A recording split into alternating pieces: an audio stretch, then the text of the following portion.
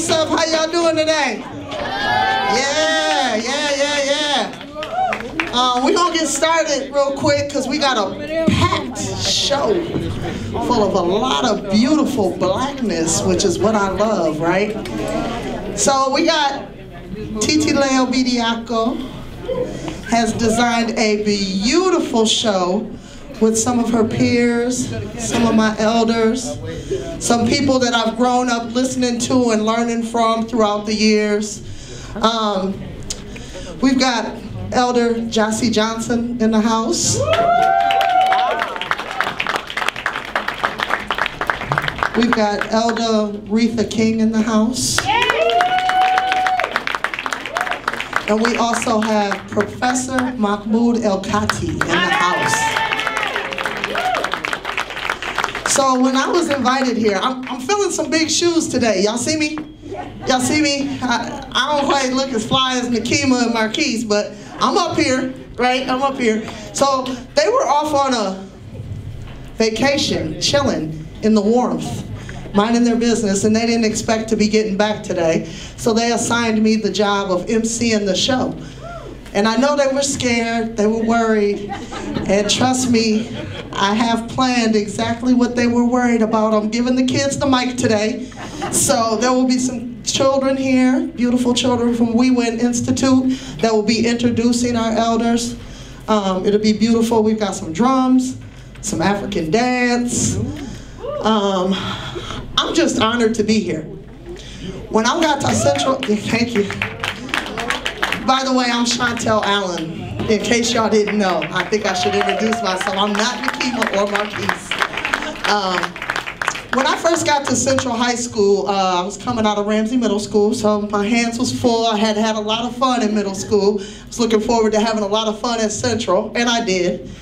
Um, but I remember my very first Black History Month. Uh, Katie McWatt, who was a, a, hero in our community, um, said, grabbed me out the hallway actually, and said, come down here, you gotta see this. And so I followed her because she usually has some good stuff for us. And I followed her down there and there was Professor Mahmoud El Kati. That was the first time I laid eyes on him. And some of the things that he was just saying resonated in my soul in a way that I had never felt before. And I said, now see, this is what I want to learn about. And so every day, Miss McWatt would throw me a Maya Angelou book. She'd throw me a Richard Wright book when I was done with that, throw me some Malcolm X when I was done with that, until I started to generate these ideas and talk about what I understood about our blackness. And so then she would sit with me and we would talk. And we would start to think about how we can change things and what the power of change can do. And that's a lot of what I carry in me right now. Year after year, I continue to run into Professor Mahmoud El Kati. I then graduated high school and ended up at MCTC and I'm just walking through the hallways and there was a big crowd of youth standing in the atrium and behind that crowd of youth was Professor Mahmoud El Kati again. And there I was catching him again. And in my early adult life, he was on the cable network channel. And so I would tune in to channel 14. How many people watch channel 13, 14, 15? Right, right, it's crazy, right? Me, I tuned in because Professor was on there regularly. And I continued to ingest that on a regular basis. Even in my later adult life, I know y'all's like, how old are you? I am older. I was still able to continue to find Professor Mahmoud El Kati in so many different spaces. He does a program called Old School, New School at the High School Recording Arts where he brings new philosophers in contact with old philosophers so that we can talk about some of the things that we need to do. I showed up there. When the Heritage Tea House opened, it's a black-owned business, right? Professor Mahmoud El Kati was there on a very regular basis every other day. And so I was able to sit at his feet and listen to him talk and tell him what I think about blackness so he could tell me what I needed to know about blackness. and I loved it. And I am so honored today to be able to say that I carry a good chunk of Professor Mahmoud El Kati in my soul, right alongside Katie McWatt as who I am. And so I, I wanted to share that with y'all. And so when Nekima said, you want to MC, what are we going to do on Black History Month? I was like, Professor? you know, and so then that started.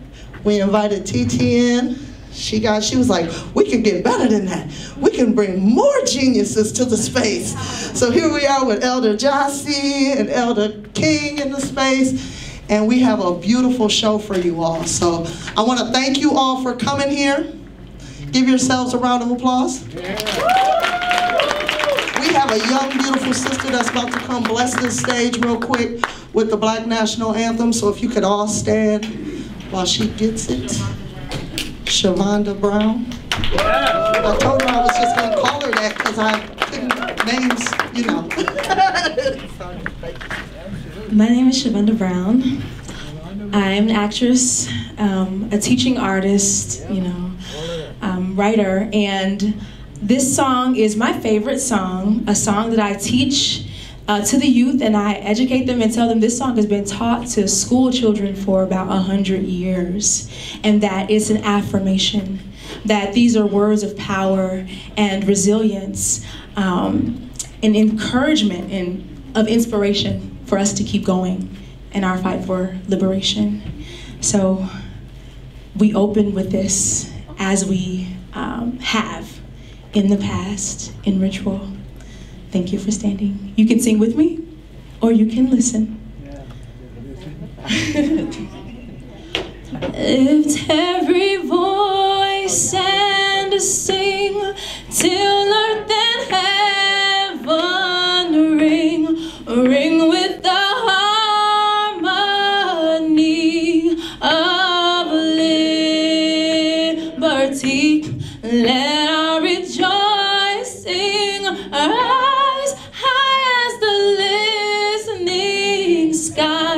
Let it resound loud as the rolling sea.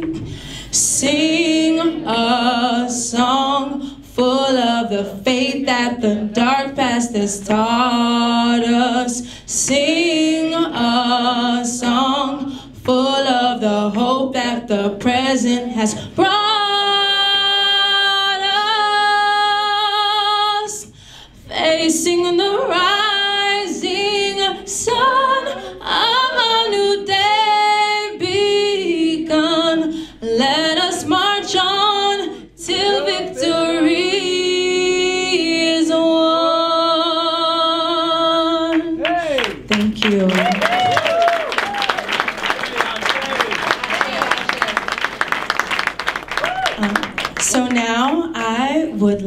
to introduce and bring to the stage uh, Elder Titilayo Bidi Dako, uh, our elder and director of We Win Institute that has been running strong for two decades?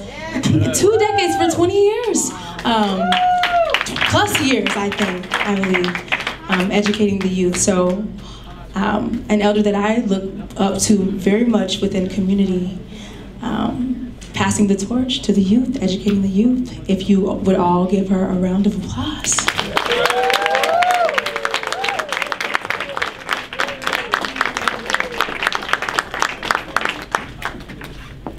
Bargani, everybody, welcome. We are so excited to be here. I'm Titilayo Bediako, and I'm the executive director of We Win Institute. Our mission is the academic and social success of all children. And I want you to know that I grew up in Minnesota, and I want you to know that these three have been my heroes and sheroes for a long time. And when I grew up in Minneapolis, we didn't learn about anything black.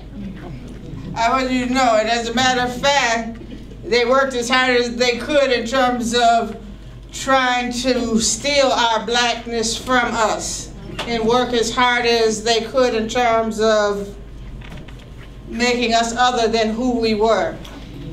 Fortunately for me, I grew up with a father who was part of changing that trajectory, of which you'll hear about a little later.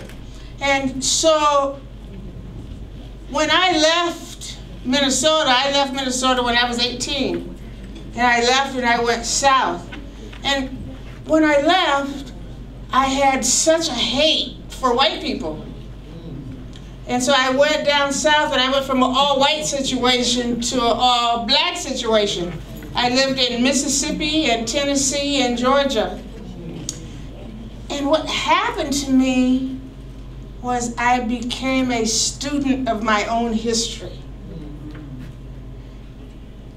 And the more I learned about myself and the greatness of my people, I learned that it wasn't white people that I hated, but that I had had a hate for myself.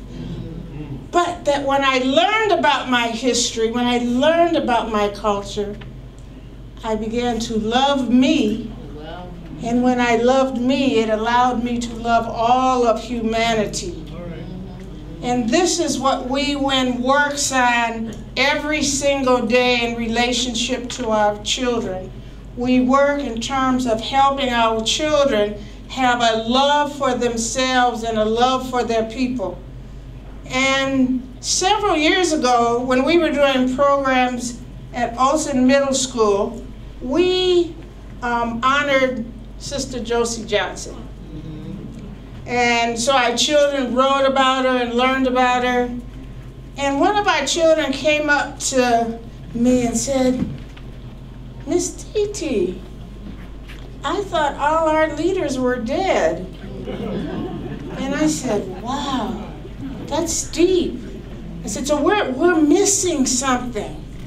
And that not only do our, not only are not all of our leaders dead, but all our leaders don't live other places than Minnesota. So what you're going to experience tonight is the greatness of black leadership in Minnesota. And we are so honored to have so many of them here tonight. And so we're going to start out with our children, and they're going to do a little drum for us.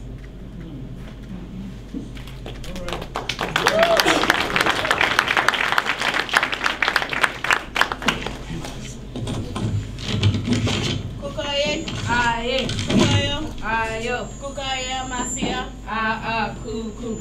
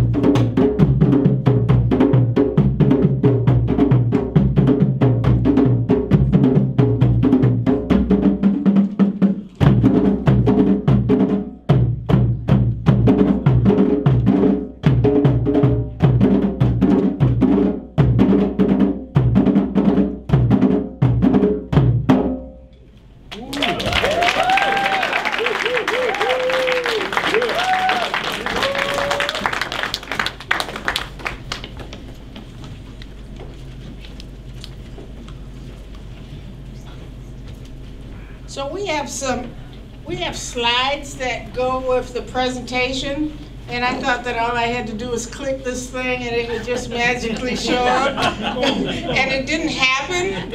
But the, the, the, the visuals are important, so I'm just gonna wait a second. So uh, Nekima is going to help in terms of making the magic happen. Dan is right there.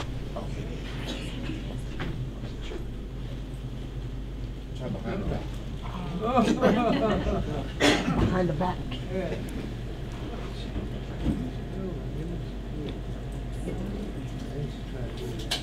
So TT, while he's doing that, let's call up Pastor Malachi. Let's call up Pastor Malachi, even though he's in the slide presentation too. Come on up, Pastor Malachi.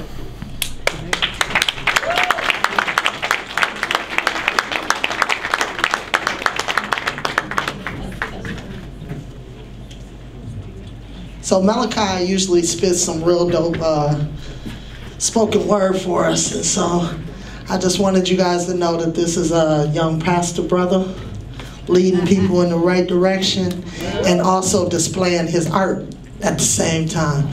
So take this in, carry it with you. Thank you.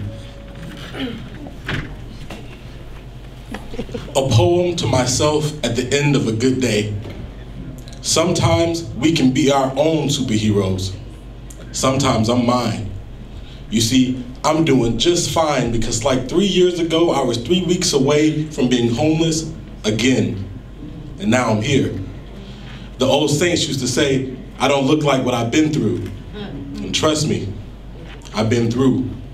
Life has hit me with some punches, but I never fell off my feet. And some folks might be faster than others, but one foot in the right direction will get us all there just the same. I ain't in no rush. I wrote this on a day that I feel good about myself, on a day when I can see the light. I'm proud of me. I serve God, I love people, and I never back down from anything that matters. I love the world with all I got, and it has made me the opposite of rich. But that's all right because Jesus never made a dime. And for the crowd that hears this, I hope you enjoy. But Laquan, Shabazz, Malachi, this one is for you. You are good people.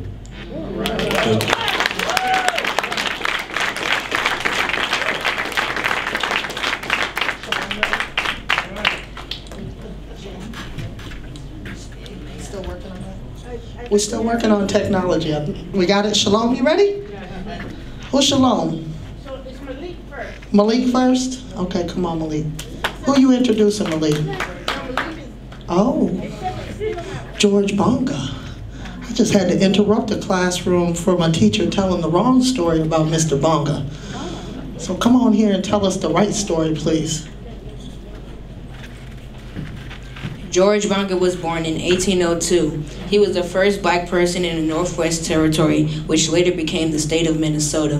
He was also a fur trader. He could carry up to 700 pounds of fur and supplies at once. He was also a translator of the Ojibwe language, and Indian language. George Bonga died when he was 70 years old.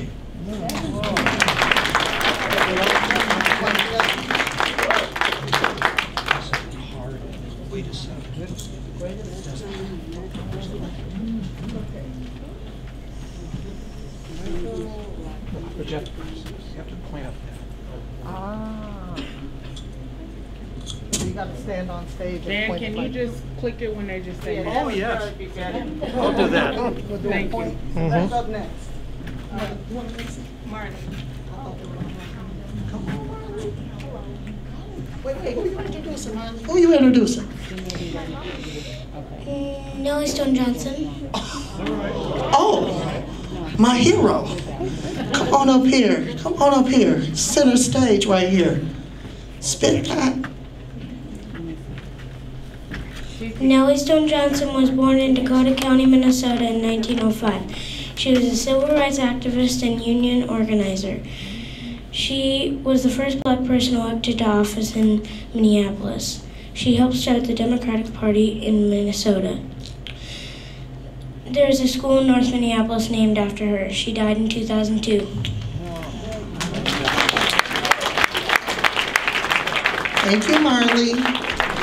That's another one I had to correct. The DFL had no idea who Nellie Stone Johnson was. I know. Go, oh my gosh, again. Oh my Yeah. They tried to tell me this guy was going to be the first black chair. I was like, wait a minute now, wait a minute.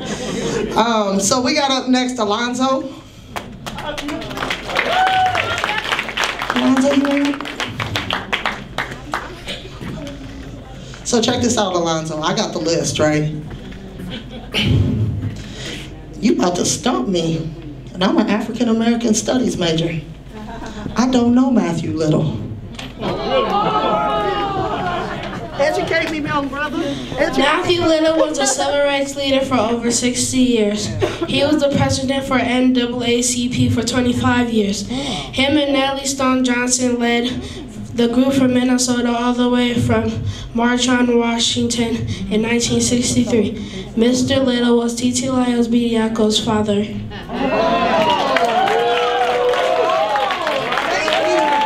Thank you, young scholar. All the way to Washington. Was that with the Ace Asa Philip Randolph merch? No, the 1963 with Josie Johnson. Oh. Thank you, brother. I appreciate that so much. You don't even know how much. So up next is Shalom. You're not gonna stump me on this one though. Uh-uh. Mm-mm. You ain't stumping me on this one.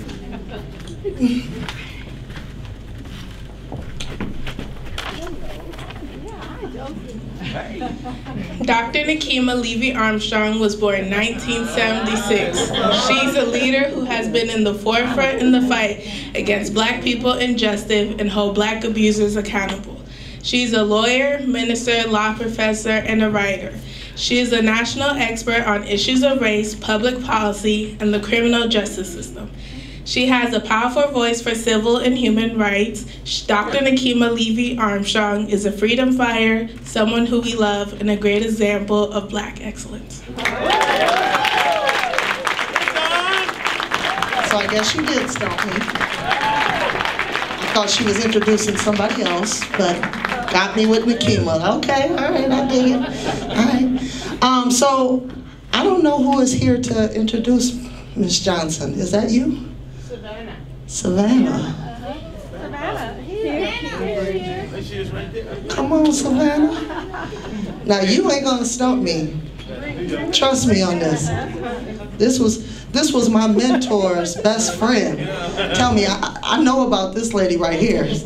All right, here we go. We're gonna put a chair. Yep, come on up. Show my gun.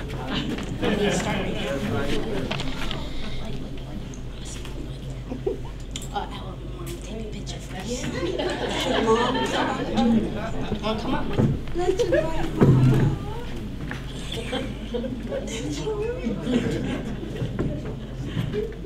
It's the dog. She made all this possible.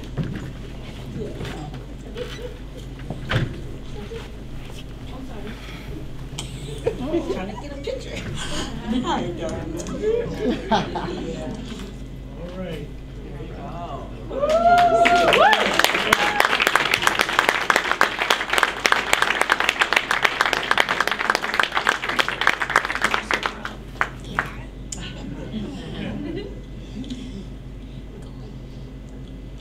Josie Johnson is my she-ro. She has been a civil rights activist since she was a teenager. She worked with her dad in Houston, Texas to get rid of the poll tax, which stopped black people from voting. She was vice president at the University of Minnesota, and she loves the win, so she comes and talks with us a lot. I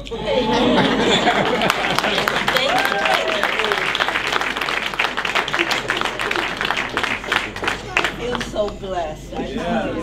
This is what we have lived for as adults and what we hope for. So to have this young, beautiful sister uh-huh. Identify me as one of her sheroes is such an honor. So thank you.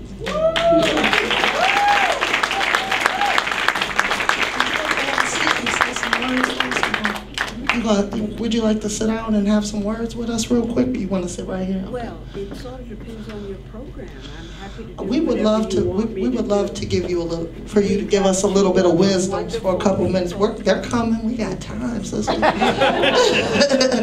We have, we have time.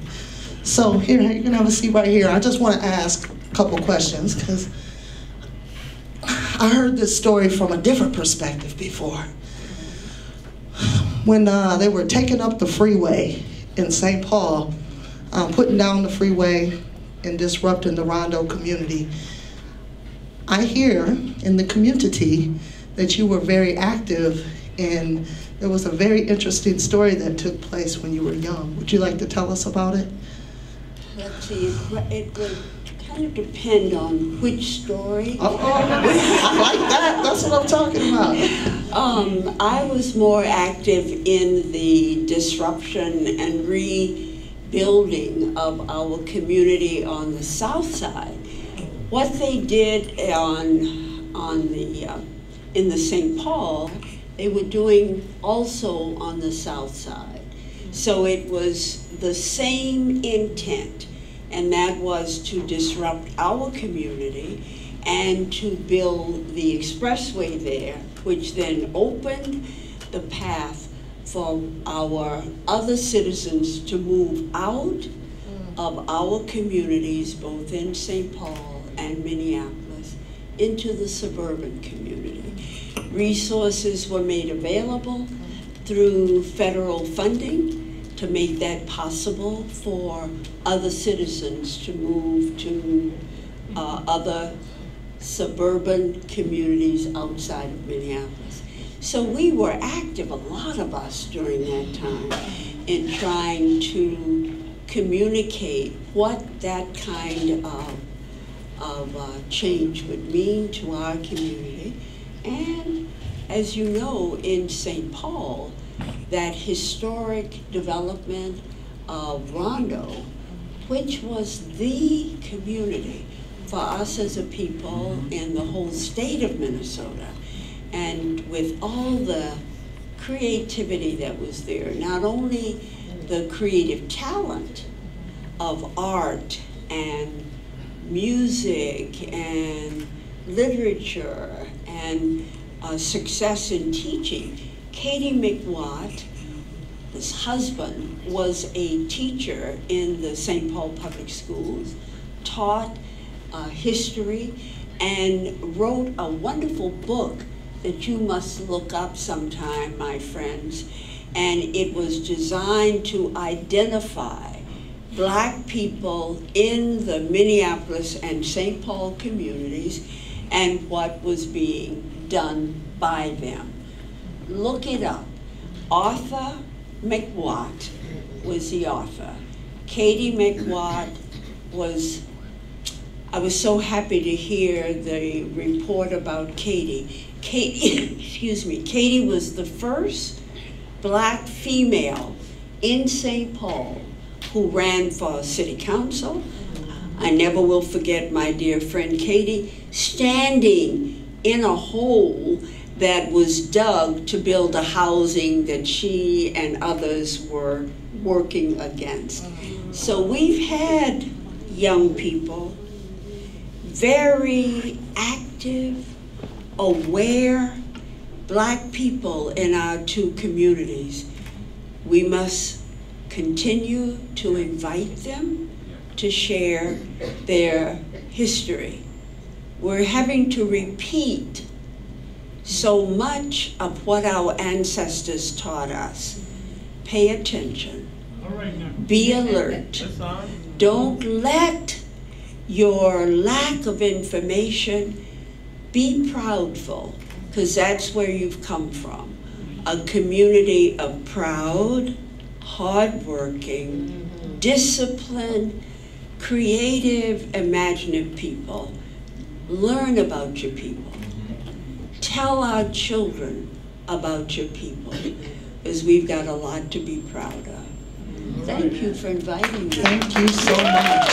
Thank you. So, The young lady who was, she was so sweet, she called me on the phone. We had a conversation. So thank you very much. thank you. Thank you, Ms. Johnson.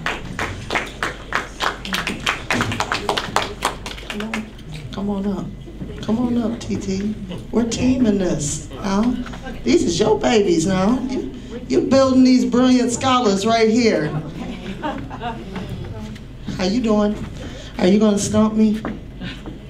Oh no. Come on now. Look, I'm trying to sneak a peek to see who it is. Psych. I didn't get it. Oh, oh, you might. Okay, you, you're not really stumping me, but it's okay. Come on.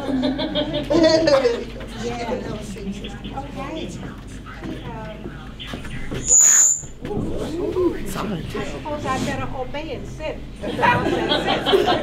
Sorry.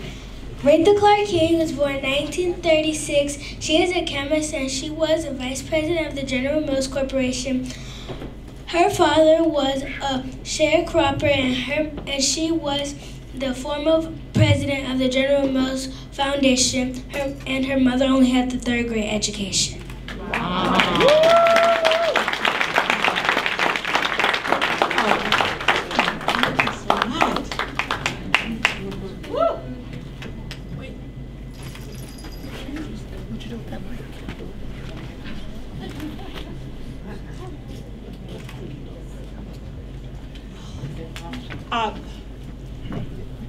Thank you. Maria?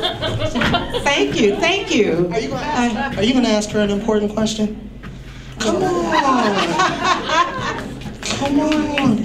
Okay, so you were the president of General Mills Foundation. Foundation.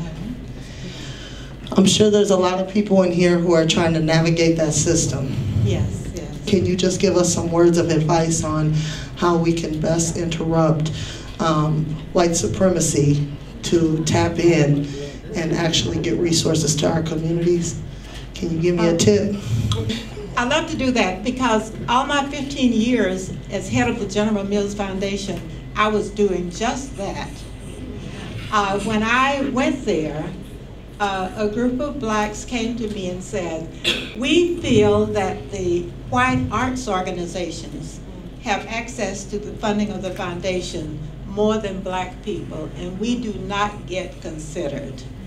And I, I didn't debate it. I said, okay, let's work out a system and uh, change that. Change that perception and uh, make sure we're getting more money to black organizations. And we did just that. But what did I do first? I took the message to my power structure, the trustees of the foundation who were also the executives of the company.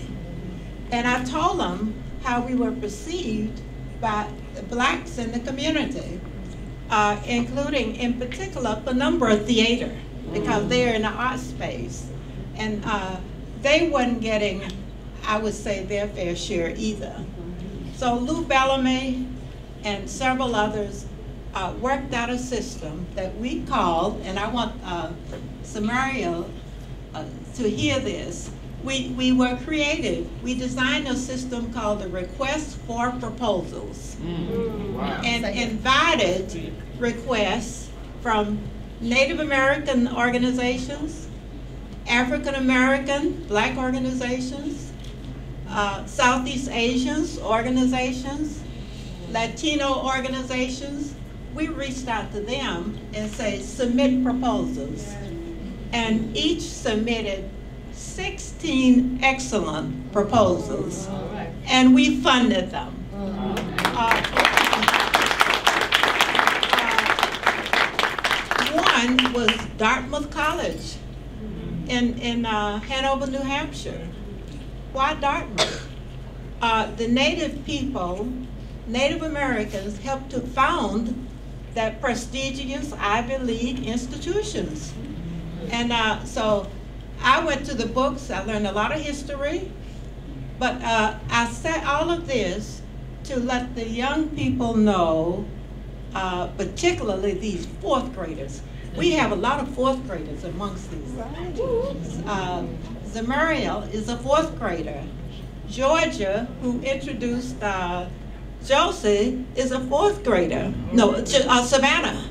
Savannah and she reminded me that my uncle calls me Savannah, Georgia sometimes. Uh, guess how much you remember when you make associations. Uh, that's, and, but I'm from, I'm from South Georgia, so we, we became buddies right away. But I, I tell the story about problem solving because I was hired at General Mills in all of my leadership positions to solve problems, to be creative And to do that, you've gotta be confident. But first and foremost, I was proud of my people. And that's why I was able, able to talk truth to power mm. in terms of my trustees. I was proud of poorer people. There's some wealthy people at General Mills, you know. Amongst them, the executives of the company. They're wealthy. Whether they understand poor people, I don't know. But I was there to help them learn. Right. And, uh, and I was the first representative of poor people. I was a cotton picker in South Georgia. My father was illiterate. He could not read and write. But he was a smart man. He was creative on the farm. He was inventive. Uh, if he didn't find a tool on the shelf, he could make it. So I told my grandchildren two years ago when I was getting an award, I said, you should always be aware that your good brains that got you into Princeton University came from your illiterate grandfather. I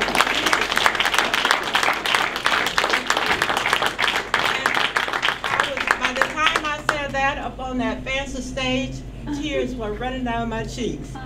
And then, the, but the audience understood what I was saying. Those rich people jumped to their feet. I don't know whether they were drunk with champagne, but they understood the point I was making. We too have too often been forced to underestimate the brilliance of us black people because of our skin color. Uh, and, and then we lose confidence. Now, this program, I'm so proud of it because it's going to make Samariel confident. It's going to make Savannah confident, and she's agreeing over here. And there's another fourth grader here. He had his hands up. It's going to make him confident. He came up to the stage. Whoever introduced uh, Stone Johnson, you probably saw me saying, yes, indeed. She appointed me to be president of Metropolitan State University. She was, she was a member of the State University Board when I was appointed to that position where I served for 11 years. Uh, Nellie Stone Johnson is a bold woman, was a bold woman. A, a hero and a shero. You can call her whatever you wanted to, but she got the job done. That's right. And uh, so I, I just can't say enough about the beauty, the brilliance, and of our people. And now we are aiming to have them more courageous and to undo the doubts of, because we were told that we were inferior for too long. And uh, the- I, I'll stop there, but uh, my soul is just full of these stories mm. that got me through the, to where I am over the last 82 years. Mm. And, I- And I, I'm looking for a birthday card from all of us in here. I'll- I'll give her- oh, give her the microphone. Thank you so much, Ms. Clark, Ms. Clark I appreciate you so much. So we have a poet coming up, Mr. Longshot. And then we're gonna have an intermission right after that. I wanna remind everybody to get some drinks at the bar. Um, and then make sure you come on back and get ready, cause we've got a full second half with Professor Mahmoud El Kati. Ready? Hey, hey. How you guys doing tonight? My name is Chad, aka Longshot. I work for We Win, with We Win. Um, just a couple quick words. TT is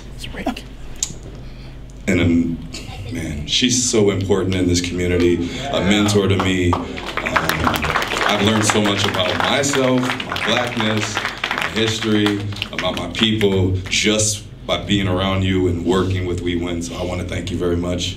Um, and thank everybody for coming out and supporting us, our community, our kids, um, art. That's important. Um, the song I'm gonna do right now, it's not even a song. It's a song, but I wanna I wanna speak it to you because I feel like I always sing it. Um, it's the We Win anthem, right? and I wrote it after speaking with my good friend Josh about the program, and he was just telling me about the program. He was like, "It's called We Win. What does that mean?" Just We Win. That's what TT named it. And so immediately I thought, what if it stood for We Work in the Neighborhood? Um, that's what we do, right? Community work. So um, it goes like this. This is the chorus. we win when we don't give into the streets by selling drugs. We win when we don't kill our own, so gone with pulling guns. We win when we have good parents that help us raise the young. Take a stand, be a man, be a woman. That's we win. First verse is this. He posted on the block, he got them rocks, he got that Glock, and yeah, he ready for whatever, even a shootout with the cops. But if they pop and then he drop, what's that? Another brother stop. That's how we losing. Stop abusing, choosing free instead of locked. Don't get me wrong, this just a song, but trust there's truth within these bars. I told him, yeah, you got a gun, but show it, please shoot for the stars. That's how you'll make it, never fake it, cause this life is oh so precious. Like that movie, Fight Back Truly, and don't give in to the pressure. See, knowledge is the key that opens doors. I'm hoping more, become more than what's expected. The best get off the floor and get to working for their dreams. Sometimes this life ain't what it seems, but no, he's only testing. Be sharp with your number two, never second guess it right?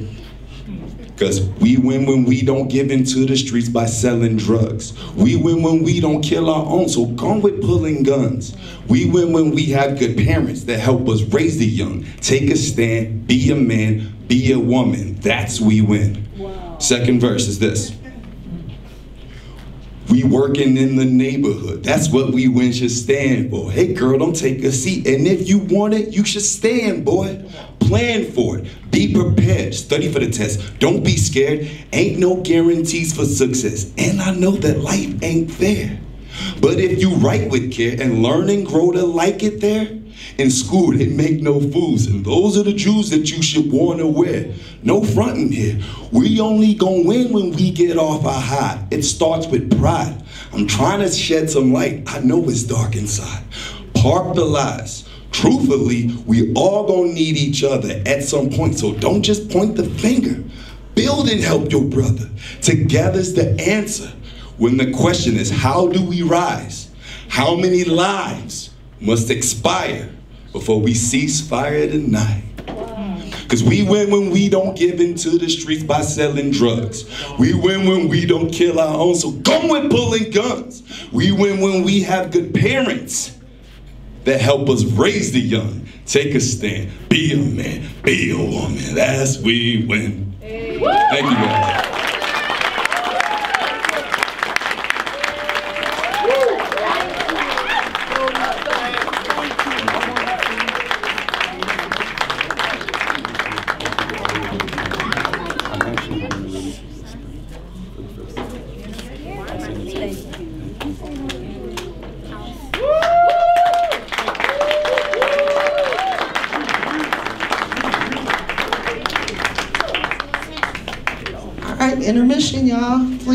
Feel free, get a stretch. The bathrooms are downstairs. Um, have a drink, and we'll be back in 10 minutes. Girls, say that again. Mm-hmm, I'm about to dance, huh? You don't need Michaela? Michaela, where you at, though? we do need Michaela. Michaela, where you at, though? Okay, there you go. Oh, we really did need Michaela because she's on the drums. Everybody give Michaela a round of applause. she on the drums. All right, so we got our Win youth here. What's your name, sister? Nairi. Nairi. Marley. And Marley. Marley shows up all the time. Wait a minute, are you the young sister that was here dancing last time? Have you been on this stage before? Yeah. My goodness, y'all are in for a beautiful show. Check this out.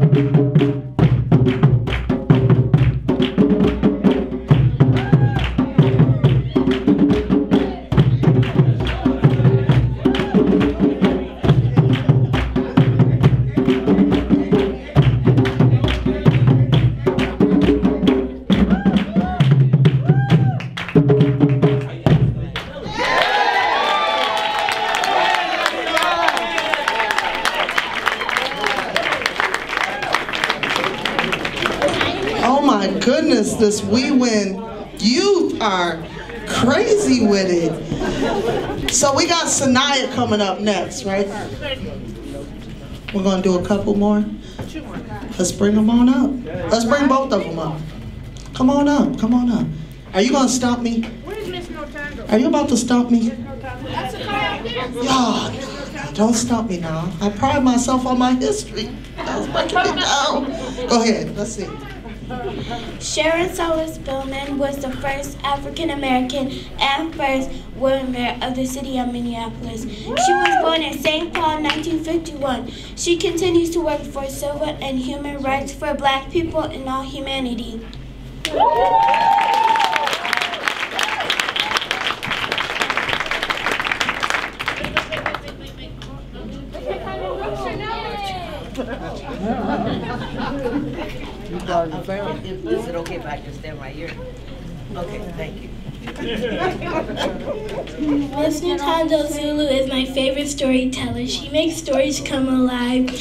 Been telling stories about African people for more than 40 years. She created the Black Storyteller Alliance of Minnesota in 1991 with her husband.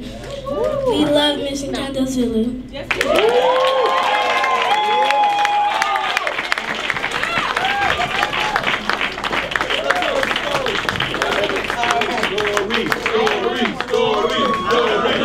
Uh, the crowd is asking for just a quick story. You got a quick story for us? Should just bless us with a quick. It is Black History Month, Ms. Zulu. It's Black History Month.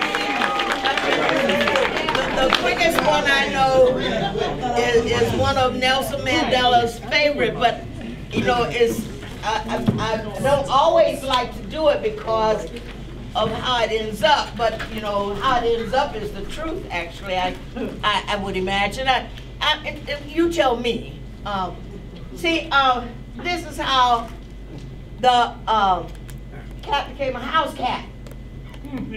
Because you know in the beginning the cat was a, a, a you know a hunter just like all the rest you know the panther and the lion and all of that. Uh, but she hunted with the jackal. Till one day while she's hunting with the jackal I don't know what it was but lion got up on the wrong side of the bed I guess and he looked at jackal and went pow knocked jackal out so cat said mm, Jackal is not the most powerful. Lion is. So then, cat started hunting with lion, which was good. Lasted a long time because lion is a powerful hunter. But lion is prone to listen to he said, she said stuff. and what happened was, a lion heard from the monkey that the elephant had been talking about his mama and his grandmama. Lion got mad, went and confronted the elephant.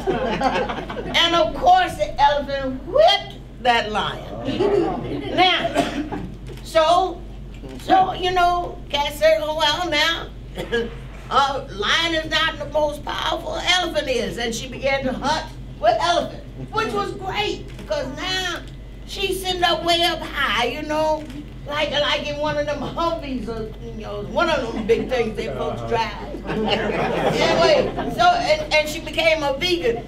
Yeah. yeah, okay. Anyway, so that lasted a real long time.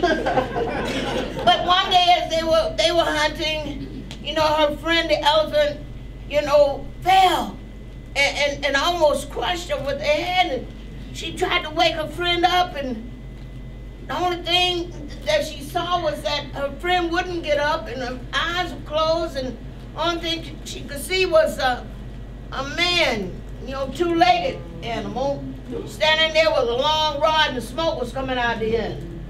So she said, ah, elephant is not the most powerful man is, and she followed him home, but she didn't go into his house. No, she went up on his roof because the roof was made of hay, and if you know anything about hay, it's nice and warm. And lots of mice hang out in the hay. so that's where she hung out. But one day while she was hanging out in that hay, she heard a commotion inside of the house. And it was a man and woman's voice raised. So she thought she leaned over the roof to see what was going on. About that time, man came rolling out of the doorway. And woman was standing in the doorway with her hand on her hip, pointing her finger at the man and telling him, you, you ain't coming back in here until you know how to talk to me.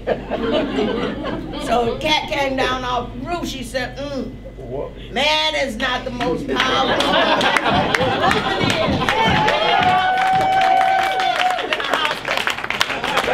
Oh my goodness.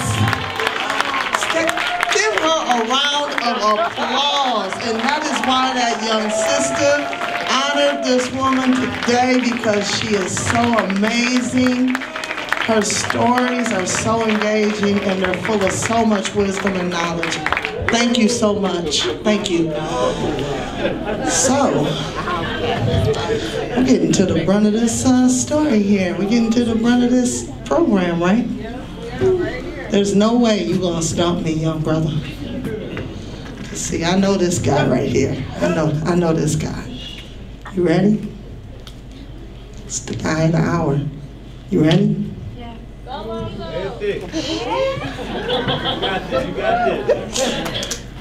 Mahmoud El-Kati writes books on the African American experience. He was one of the first black professors at the University of, of Minnesota. He also taught at Macalester College.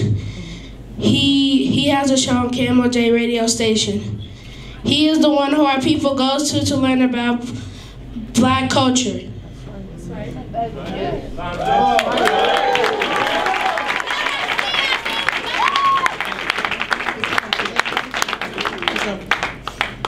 Professor, could you please join us on stage? No,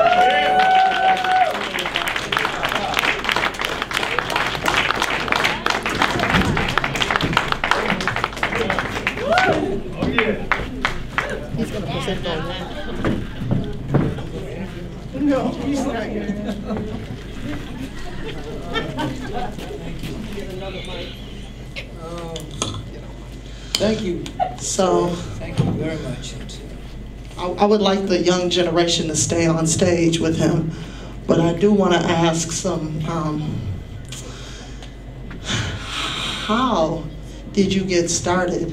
What turned the light bulb on that made you start to dig in? Because you're so knowledgeable about even Pan-Africanism, going all the way back to the colonies, um, to the present and understanding. So what turned that light bulb on?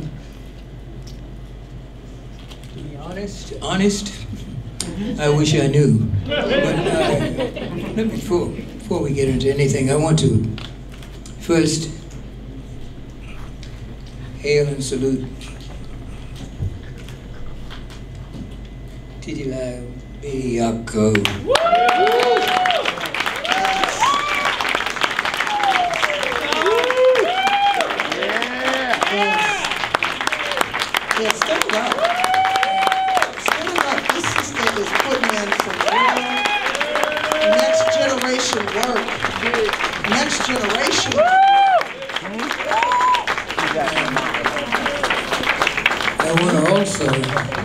Hail and salute uh, Nekima and Marques.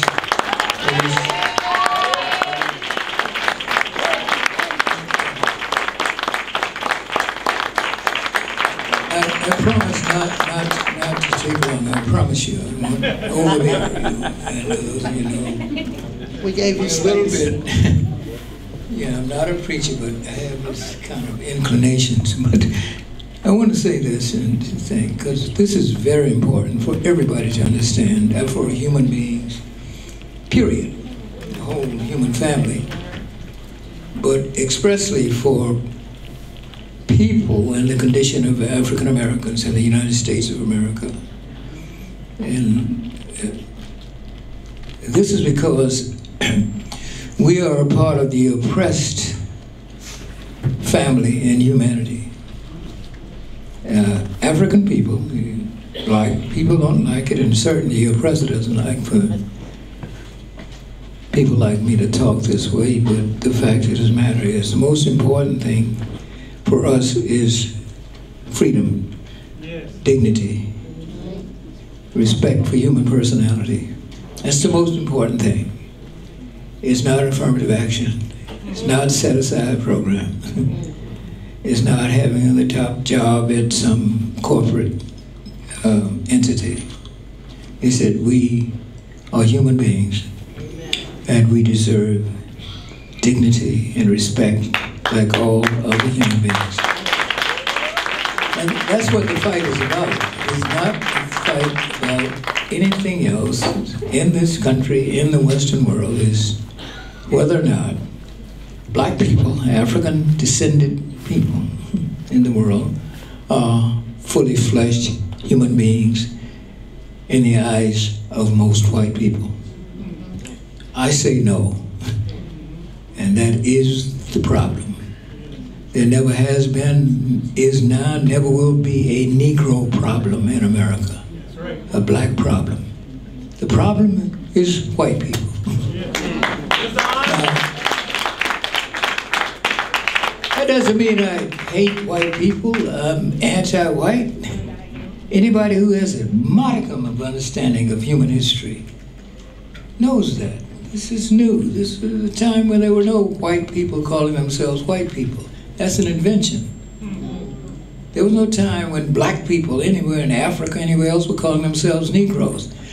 That's an invention. That's a modern racist construction.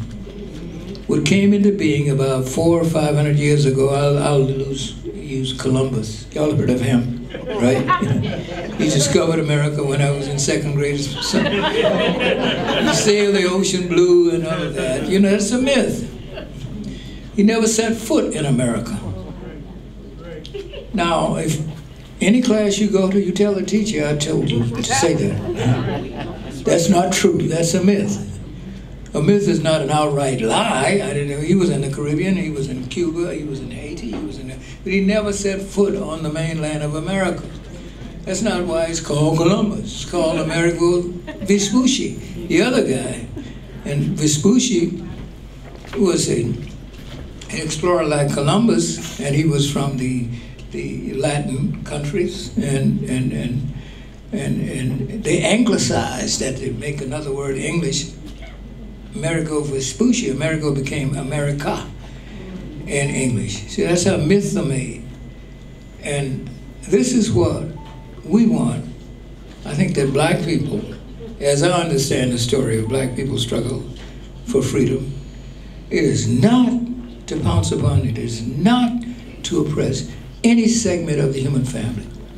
We want to be free from all the madnesses uh, that America is, and it's a child of the Western world. Racism wasn't born in America. Get that out of your head. It was brought here. It was brought here by English-speaking people, Spanish-speaking people, Portuguese-speaking people, to a lesser extent, people who spoke Dutch. All this is becoming clearer now, and I'm saying all this to say that, I'm, and I'm glad the, the audience is integrated. By that I mean intergenerational. integrated, it's integrated. Like the old, the old one-room schoolhouse. you remember? You can learn together intergenerationally. You know, you can explain what I'm sure some of the children don't, don't understand what I'm talking about. That's your job, dad, cousin, Bill, uncle, to have this conversation with your child. That's where many of us learn. I had conversations with my grandmother after church to explain what this means, what that means. See, that's another way of learning. There's more than one way to learn. There's more than one way to skin a cat, too. but I, I, I want to salute these beautiful people who are doing the right thing. And insofar as our struggle are concerned, is concerned, the most important things about human beings, and I'm always I'm talking about the human family. I can I insist that I'm a human being, no matter what the definition of, of uh, racists have been coming up with since uh, since Decomte de Gobineau. You say, well, who the hell is that? well, he's a he's, he helped write the book on racism. He wrote a book called The Inequality of Races. And he wasn't talking about black people, he was talking about white people, people we call white. He was talking about the Nordic people being superior to the, uh, the uh, Mediterranean people, like darker white people in the Mediterranean, Italians, Jews like that. He wasn't talking about uh, uh, English people who are blonde-headed, or brown-headed. He's talking about something called Nordic, which gave us Hitler you understand? This idea of race has been around a long time. Racism, ISM, which gives its action, has been around for about three or four hundred years. The action, the segregation, you know what that is? Racial slavery, you know what that is? Okay. Now, that's the ism. But everything in this world comes from ideas. And race is an idea which was actualized through the period of exploration, imperialism, colonization, and racial slavery. Racial slavery is new in the world. There's nothing new about slavery. When the world was young, slavery was old. there was slavery in Europe, in Egypt. There was slavery in China.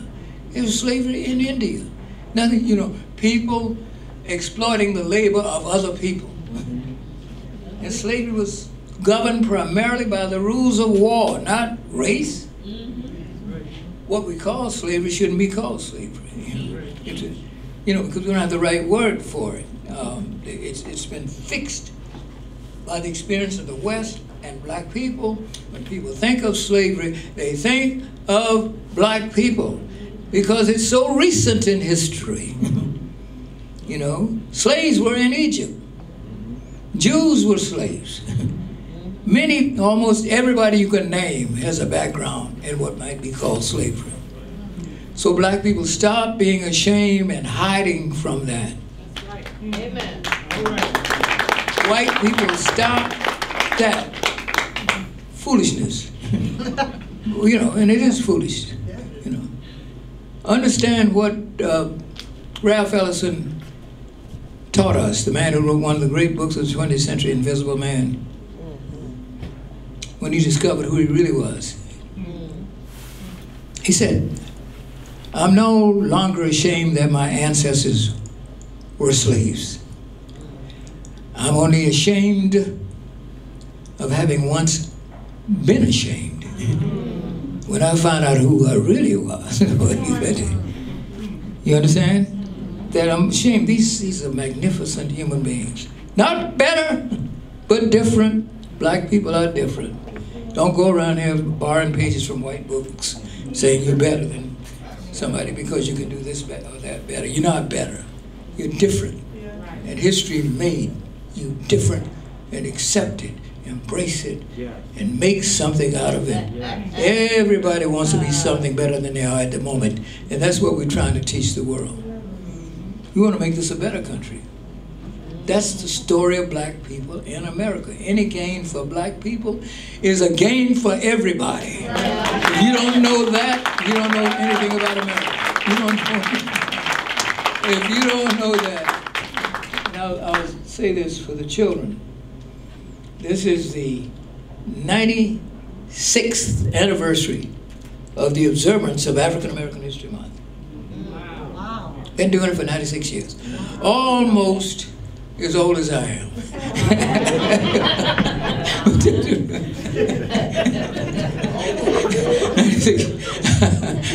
uh, we've been doing this a long time. And we have to thank for this Dr. Carter G. Woodson. I want all the young people to say this after me. Carter, Carter G. G. Woodson. Woodson. I should have said the old people too. Carter, Carter G. G. Woodson. Woodson. That was a human being a man like you with a beating heart and living affections who created this observance. That's right. It didn't come out of the sky. It has nothing to do with uh, picking a cold month in February for black people. it's nothing to do with it. That's, that's nonsense. It's a human being who lived on this earth for 75 years, from 1875 until 1950. And he put most of his conscious life to studying black people all over the world. He taught for about 10 years in the Philippines. He lived in Asia. He went to China. He went to Central America. He went to South America. He wrote 23 books, you know, on black people. The most important one that you know of, or you should know of, is what called it's called the miseducation of the what? Of the Negro. Thank God. I think he, he wrote that book in 30 in, in 1935. It's more widespread now than ever. But he wrote a book prior to that, 20 years before that, called The Education of the Negro. Education is the word which means, it comes from the Greeks. What didn't come from the Greeks? but, and it's educe, meaning to lead oneself out of ignorance. That's what education means. You don't have to go to school to educate yourself. But, uh, okay, you, you understand? Frederick Douglass never spent a day in school except to go to address the graduating class. He never had formal education. So you wonder how he spoke fluently four different languages. You, he's a slave. As he said, I was a commercial, I was a piece of property until I was 20 years old and took my freedom. Nobody gave you freedom, you take your freedom. Um, and he and so many other black people have done that. So we're, this is what, what, what, uh, what, uh, what uh, Ellison was talking about. I'm proud that I'm a descendant of these people who the world or the oppressor defined as three-fifths of other persons. Part of me supposed to be property, and part of me supposed to be human. You all know where that came from? The First Amendment in the American Constitution. It's in the Constitution that these guys in Washington are talking about. We were once defined as three-fifths of other persons legally. That means you were property in the eyes of the oppressor and not fully fleshed human beings. We got to put that on the table right now during the Trump era. Put it on the table. All of these things that people are ducking and dodging around. Trump, inadvertently, I know you're not going to agree with me, is doing us a favor by reviving white supremacy. Yeah, because that's what it is. It's not racism. By racism, I mean white supremacy. And white supremacy is a doctrine that evolved and was created by modern Western Europeans, by Frenchmen, by Englishmen, by Germans, not all white people. People in Eastern Europe had nothing to do with this. It's the, it's the 15 countries of Western Europe. That's why Europe is so what? Rich, and Africa is so poor. And the, the development of Europe uh, made Africa poor. How uh, Rodney, uh, Walter Rodney, a great black scholar, wrote the book of how Europe underdeveloped Africa. Before Columbus, they were about even in development and growth in civilization was Africa. After slavery began, the Atlantic slave trade, that's when the wealth of Africa belonged to Europe. Came to, you. what do you mean by wealth? Wealth comes from labor. You can't have wealth without labor. The source of all wealth is labor. Everything in this room you see comes from some labor. Not the way we labor now because you had technological revolution and so machines replaced black people. That's the industrial revolution. we stimulated the industrial revolution. If you were living in the South at the time of the Civil War, this, look, I'm no genius, a deep cat, you know, I mean, I'm just like anybody else, you know. And I got trapped by the freedom blood, freedom bug when I was very young. That's what, that's it, you, you, at different stages. You know, some people get it when they're 16, they're 15, they go to college, and sometimes they earn the degrees, and then they get it. But I got it from my grandmama. That's where the freedom bug come from. Teaching me to read before going to school. All right, all right. Oh, uh, half of my education is owed to black newspapers. I've been reading them since I was five years old. Wow. That's I have no degree in that. There's no degree. Unless my grandmama give, give me the degree, but that's nonsense. We can educate ourselves. That's what Nekima's doing. That's what Titi Bediako is doing. And how do you do that? By building institutions. Institutions are enduring processes. Can I prove it? Yes, I can. My, I've spent most of my life in Minneapolis and St. Paul. And, you know, think what you will of me, that's where I've been. I'm a southern boy and so forth, left when I was 17 and all of that, you know. Saw a little bit of the world before I came here. Uh, but education be, has to be self-induced too. We can educate ourselves. If it means leaving yourself out of ignorance, we can do that. We've done some of that since the 1960s. You know, the 1960s is, is the most credible decade of the 19 of the 20th century. It is remarkable. Black people don't seem to know what they have done for themselves and for this country. The decade of the 60s was the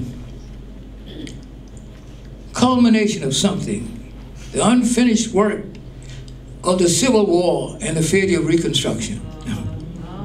This is a, the, the, the civil rights movement is rooted in the failure of Reconstruction. That's a period in which black people were free for a, you know, a little while, you know, 10, 12, 15 years, and it was taken away from us. Uh, there was one time we voted, I mean, black males voted, not women at all. See, this is a male chauvinist society. We just discovered it 25 or 30 years ago. Uh, yeah, black men got to vote for white women. In 18, um, 1870, that's how long we were supposed to vote. And when the black people got to vote, the black men vote, they did. They elected over 2,000 black people to public office. There were senators from Mississippi. Believe that. You understand? There were 20 uh, black people. At one point in American history, South Carolina had a state legislature was majority black. Yeah. And uh, they're the ones who brought public school system to the South. The black legislators. They passed the, they're the ones that gave white women the right to own property. Black legislators, you never heard of them.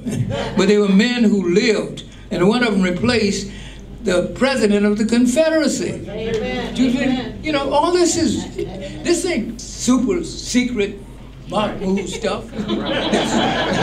Anybody can know this. Anybody, he can. Yeah. Now he does. That's right. No, 80% of what I'm talking about if he's exposed to it. Right, right. That's all. There's no such thing as achievement gap. Get that out of your head.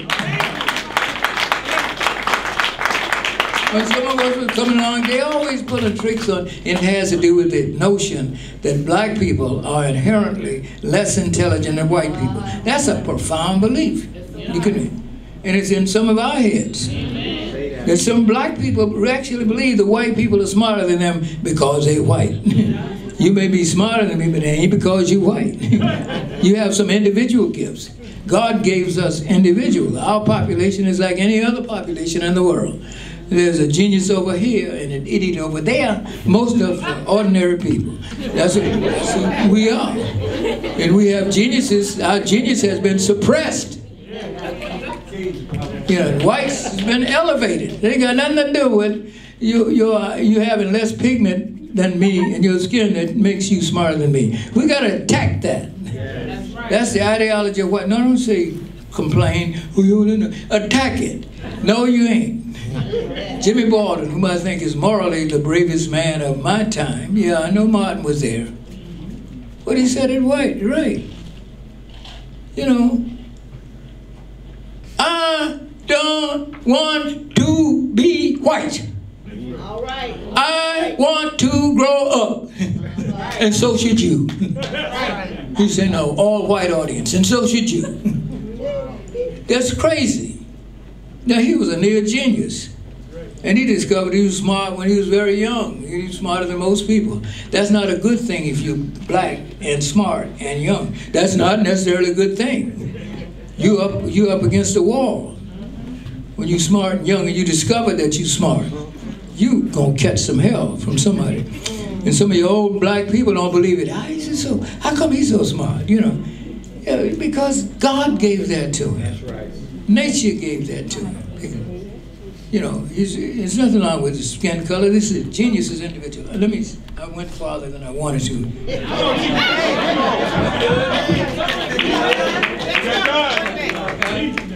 Can I have the mic a minute?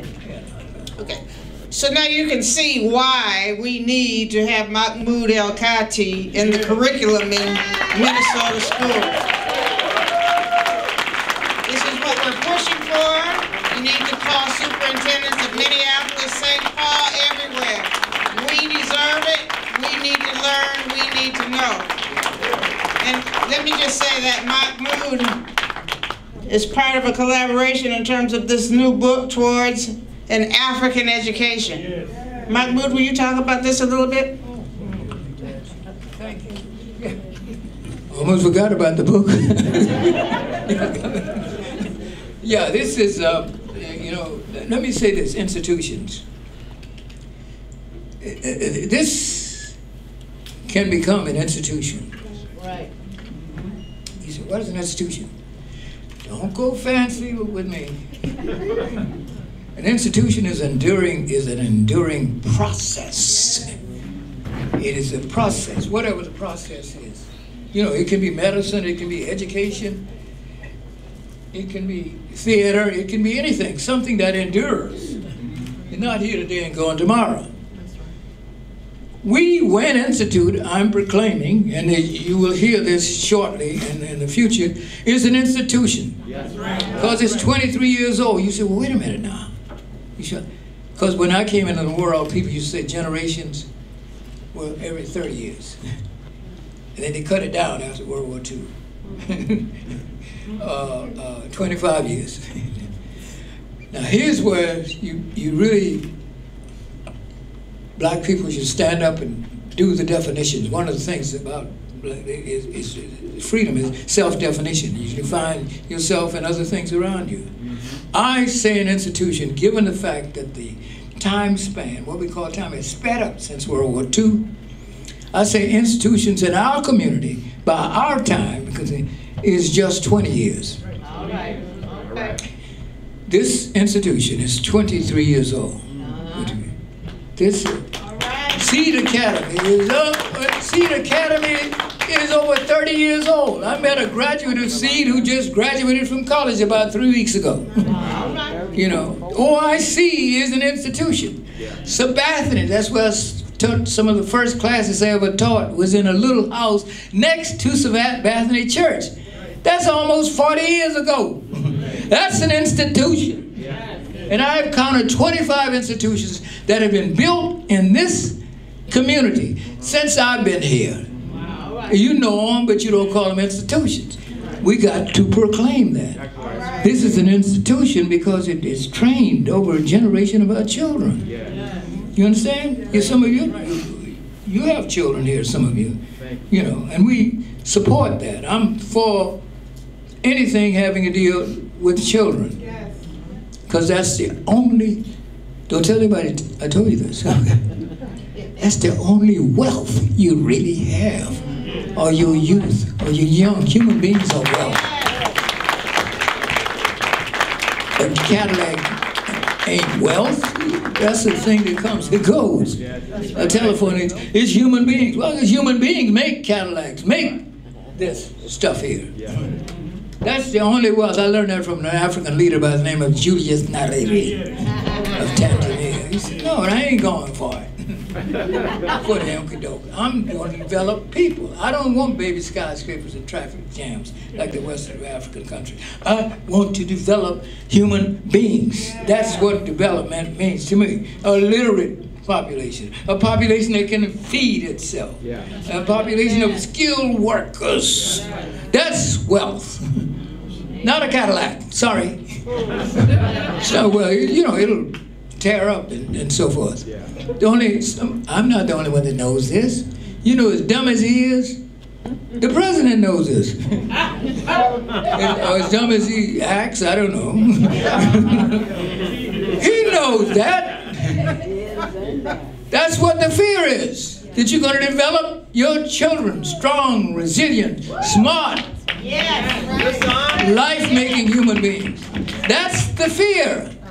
That's why the man shoots a child 18 times, dead before he hits the ground. That's the fear is of young black men and young black women. That's really what it's all about, y'all.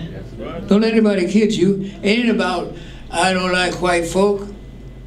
Come on with that nonsense. it ain't about white folks as people. It's the deed. The judgment is on the deed. Stop the deed. and it's over. Stop doing what you're doing. Through what? How do you do it? Through your institutions. All American institutions are based on the doctrine of white supremacy, all of them. Now go get any professor you want from anywhere, Harvard, Yale, Princeton. Let's have it out. Let's have it out, right? That's, that's what that's about. Institutions are uh, uh, instruments of oppression all over the world. It's in Africa, it's in Asia. You know, you had institutions oppress people. That's what it, what's an institution? Big an, an army. What's an institution? A government.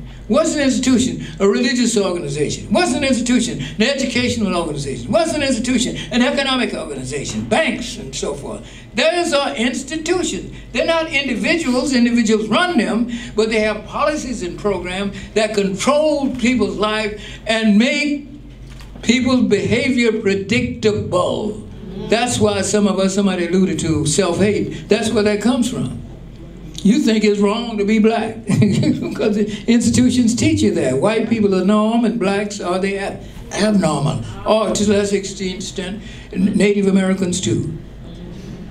I, ooh, I've got to say this, and then I'll quit. No, no, because I know a lot of people are not down for this kind of stuff, and I, I understand that.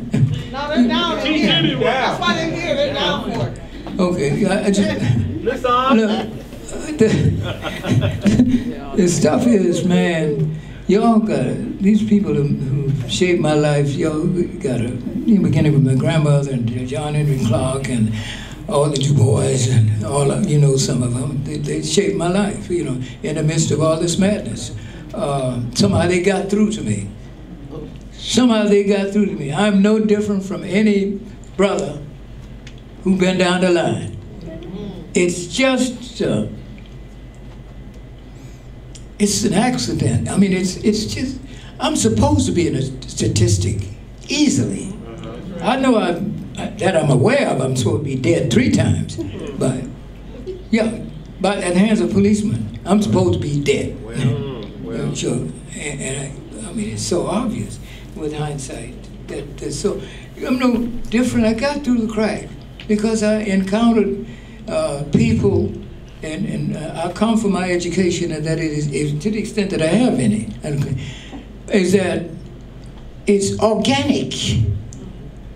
No school is responsible for that. I'm proud to say, you know, it's sound twisted, that I've never taken but one formal course in African American history. Never. And that was only because I went to a historically black school called Wilberforce University. Hey. And those proud AMEs, you know what you couldn't?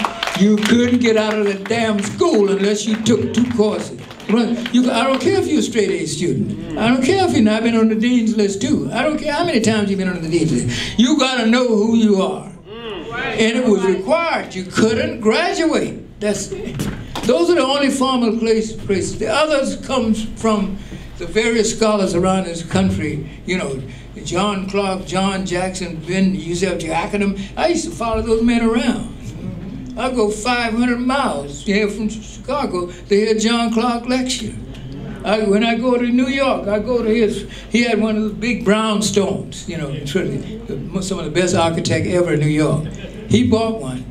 His library had 10,000 books in it. And he would sit down there and talk to him, and I'd tape him and listen to him. He's been to this town at least a dozen times. How do you know that? Because I brought him here. He used to be here, all over the place. He used to come to the Way. Y'all, anybody know the Way? Yeah. That's where my career started. Not at the university, on the street, with some young brothers uh-huh. on the prison merry-go-round. Yeah, uh-huh. Yeah, and people ask me, what, what did you come over here? You had a nice little job. Somebody know. He's a psychological counselor. Oh, which a white man put on me. I wasn't. I didn't earn that. He, he just gave me a title. See, they needed a token Negro, so they got me. You, you got a title, you know. But when that thing, when Syl Davis approached me and said, "We're trying to build a different kind of institution, not a settlement house, but we want to be a part of the movement. Mm. Would you join me if I get this thing off the ground?" Yes. And I said, "Yeah, I can't wait." What, what, what do you? you know, what, people say, why you mm. you left this good little middle class job, yeah, you know, on the way to a PhD and all of that, you know.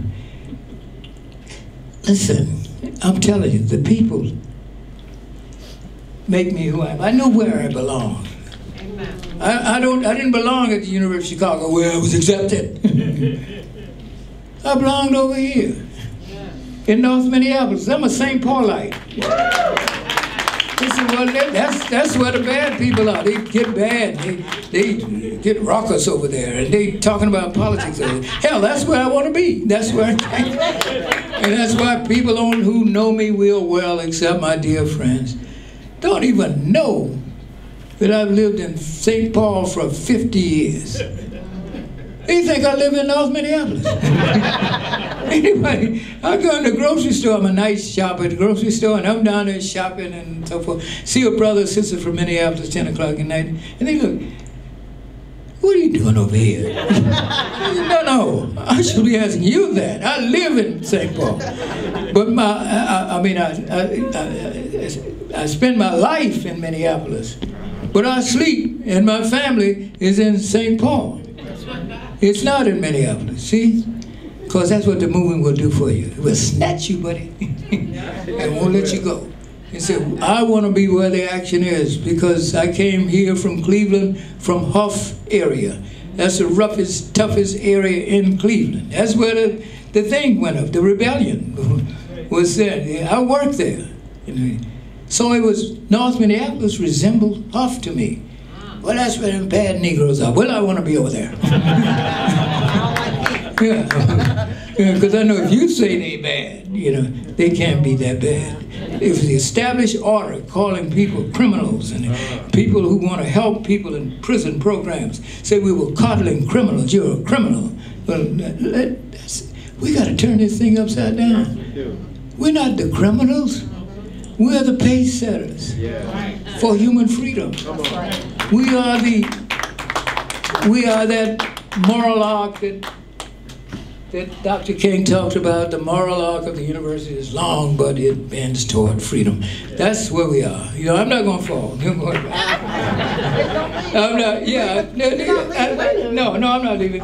But I, I want to just say something for the children. I hope you are, and I hope I didn't bore you children. I, know, I got some great children stories. You know, that's another story. But, but this, is, this, is, a mixed audience, uh, you know, generationally. You don't get I want you to repeat after me some of some great words from our forefathers. These are words to live by. These are the things that inspired these people like Josie and so many others that you picked out. This is what cause them to do what they do. I want you to repeat some of it after me. Here we are. Here we are. And here we are likely to be. To, be. to imagine that we shall be eradicated. is absurd is absurd and ridiculous. and ridiculous. We can be changed, We can be changed, we can be modified, we can be modified, or even assimilated, or even assimilated, but never extinguished. but never extinguished. We therefore repeat that we are here, We are here. that this is our country too. This is our country too. We shall neither die out, We shall nor shall we be driven away, nor shall we be driven away. but we shall go with this people, We shall go with either as a testimony against them or as an evidence in their favor throughout their generation. That's Frederick Douglass taught us that. This is our country. And I don't mean to dismiss and disrespect the indigenous people. They're the original landlords. That's right. They were here thousands of years before Africans or white people showed up. But I ain't gonna let no white man look at me as if I just showed up. Been here since 1619. That's before the Mayflower. That's before George Washington was born. That's before the American flag was invented. That's before give me liberty, give me death. That's what can, black people are, oh, we're not the new kid on the block. You're going to look at the white man next time and say, not me, buddy, stop talking about me. You just drove up. I've been, you just drove up. You know, after the Civil War, most white people couldn't date back like, I'm a, from a slave family. You know, you know, we didn't have birth certificates and so forth. But I can date back clearly in my family, on my mother's father's side, seven generations. The average white man can't do that. They know that. The people in think tanks know that. The government know that.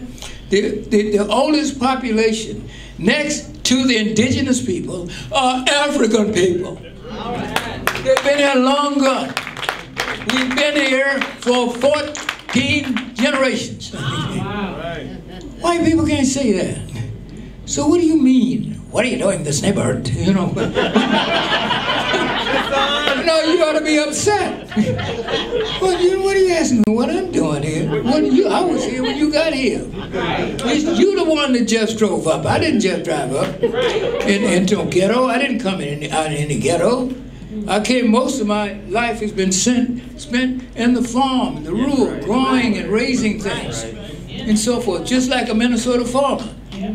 We built Charleston, which was once the largest city in America.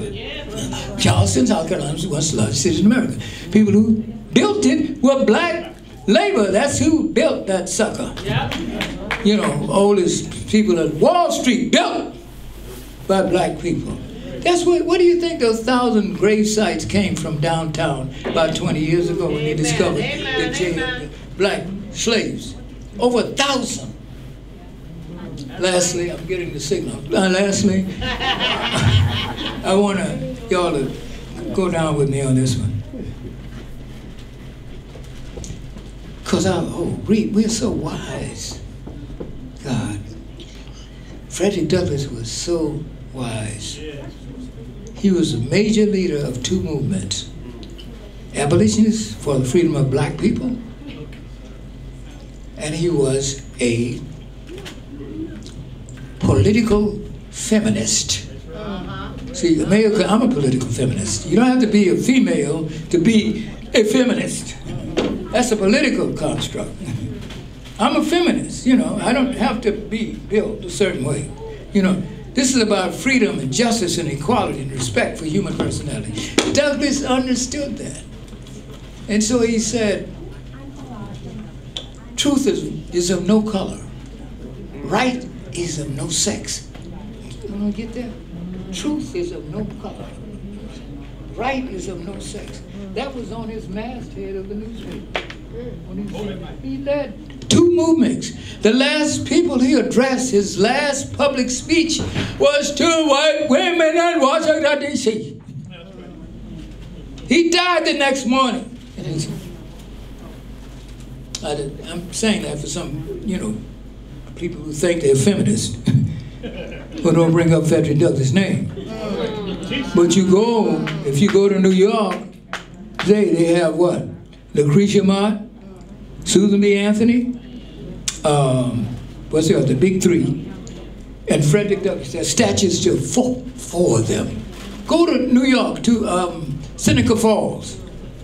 That's where, that's where the women's rights movement started. He was the black male who addressed the audience. Don't tell me about us. We're transcendent people. We ain't about no race. We're about transcending race. We're about, we're human-centric people. We're not, you get it? Amen, amen. We're not about the race thing. The only reason why we even call our race ourselves race is because white people impose that on you. The only reason why you call yourself a Negro is because they impose that innocent, yes, Spanish word simply means an adjective meaning, meaning black, like these pants. That's a common name in the Portuguese and Spanish language. Del Negro River, the second biggest river in Brazil. It's a common word, and they borrowed the word from the Spanish because the Spanish and the Portuguese and West Africans go way back before Columbus. Way back. Repeat after me. All of us. And no, let, no, let, let the children do this. Can you do this with me? Yeah. All right, here we go.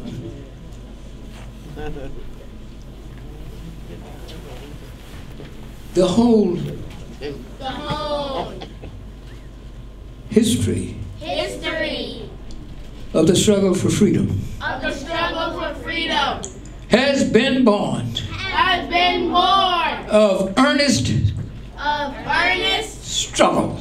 struggle. The conflict The conflict must be exciting, must be exciting, agitating, agitating, and all absorbing. all absorbing. For the time being, For the time being, putting all other tumults the amounts to silence.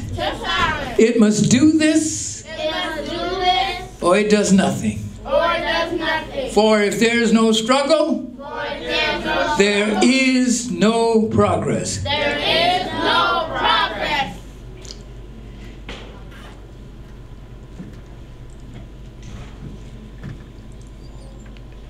Men and women Men and women who want struggle without freedom, who want to struggle without freedom, they want to reign they want to reign without thunder and lightning. without thunder and lightning. They want the oceans They want the ocean without the awful roar of its mighty waters. without the open road without water. The struggle may be a moral one, Struggle may be more, or it may be a physical one, or maybe a physical, but it must but must, must be be a struggle. a struggle. Power concedes Power conceives nothing nothing without a demand. without a demand. So then, So then, black men and women black men and women will be held at the north, will be held at the north. hunted and flogged at the south.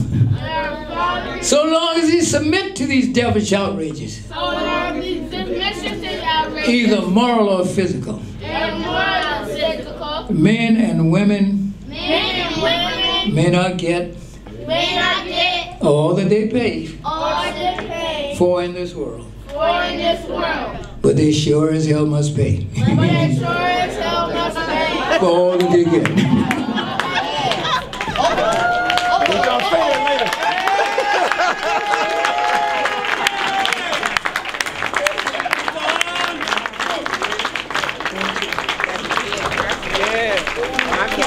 So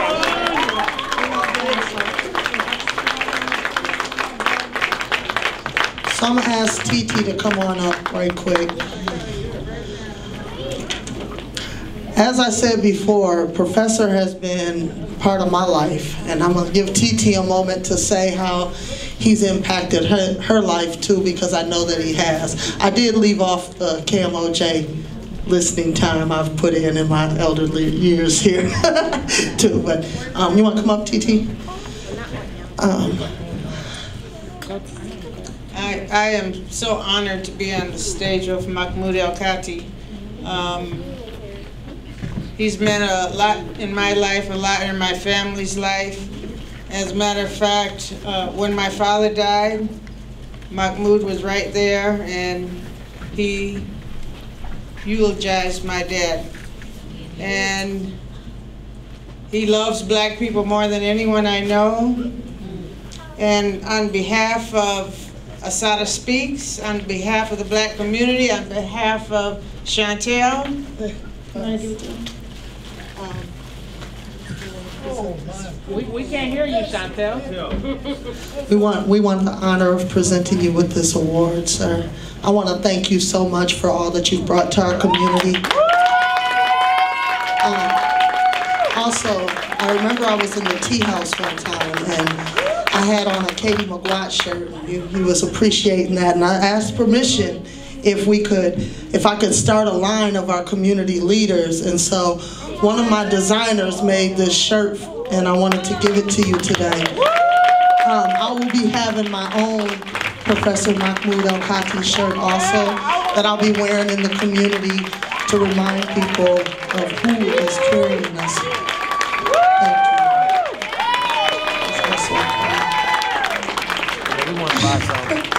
Know, I want one too. No, I don't want to make you cry. I think So also, uh, can you hold this up the camera? People want to see what you got here. There's the award. What does it say, Chauntyll? So I'm gonna read it real quick. Mahmoud El-Kati, historian, after, Af- African guru, freedom fighter, revolutionary. This award is presented on behalf of the community Thursday, February 27th, 2020 at Assata Speaks. Thank you for your undying love and for being unapologetically black. Thank you.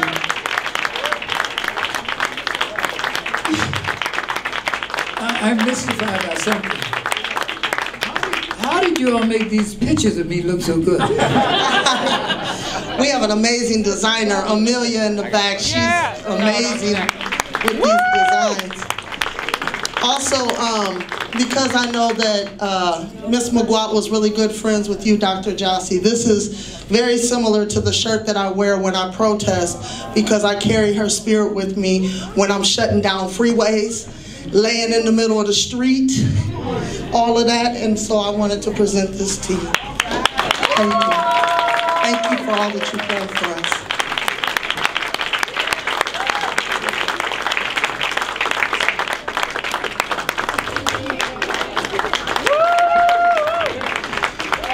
Please give a round of applause to all of our great elders that were here giving us all this beautiful wisdom today. Um, we're gonna have a, Nekima Marques come on up on stage. Thank, she, and Malachi, also Malachi, come on up here.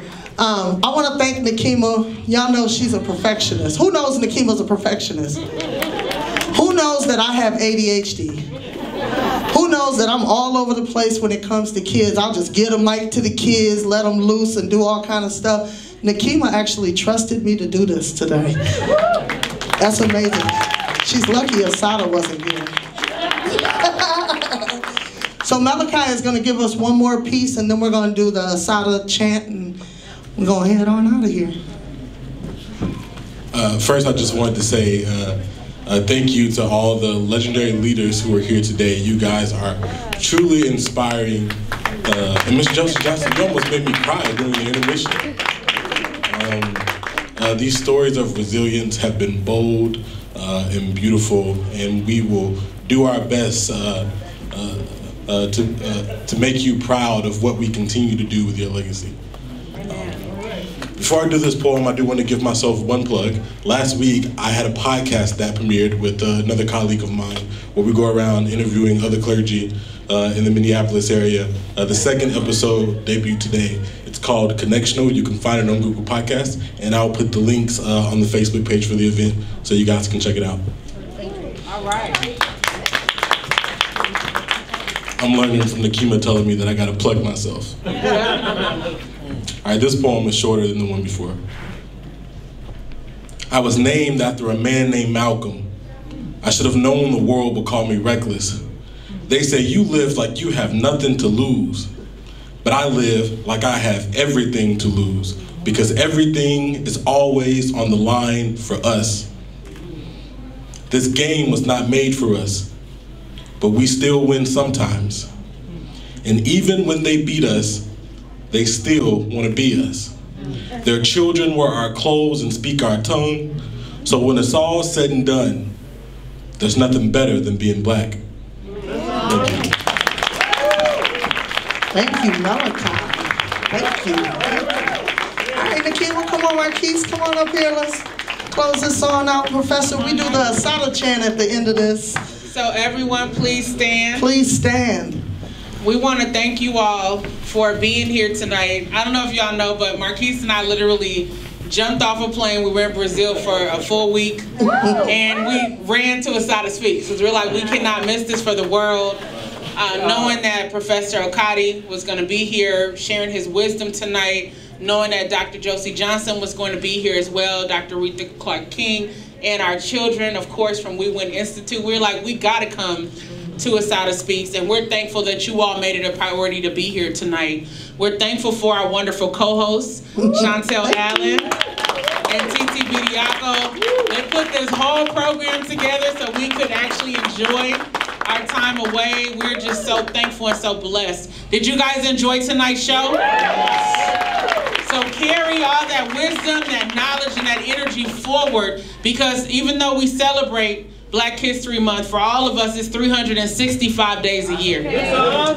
So she's not lying about how suddenly they just were able to make it here in time. Because originally it was, I don't think I'm going to make it at all. And then, then it was Professor within Josie that all of a sudden was like, I think I might be able to make it there. And then they were here before it even started. So by the grace of God, by the grace of God, but they were on a mission. They knew this was going to be a beautiful show. So Absolutely. thank you all again. Um, thank you to DJ Scipreme as oh, well. Yeah. Always, he's been the bartenders, our bartenders, our host workshop, everybody who was a part of the show, Pastor Malachi as well, Shavunda who came and sang in the beginning. We are grateful for you. Thank you. Thank you so much.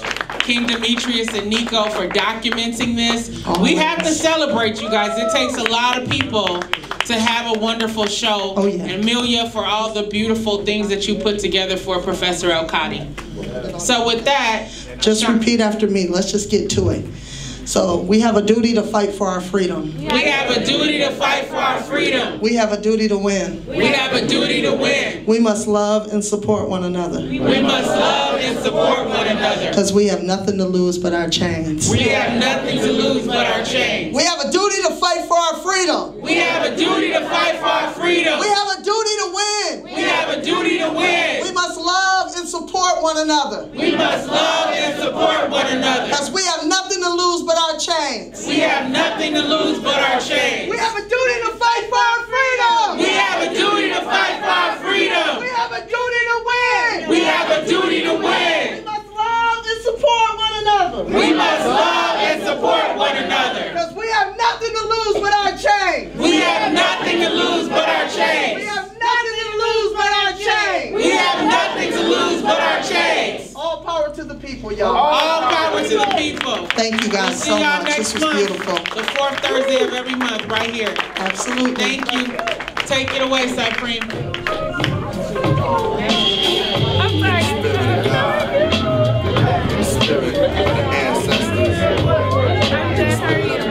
Thank you.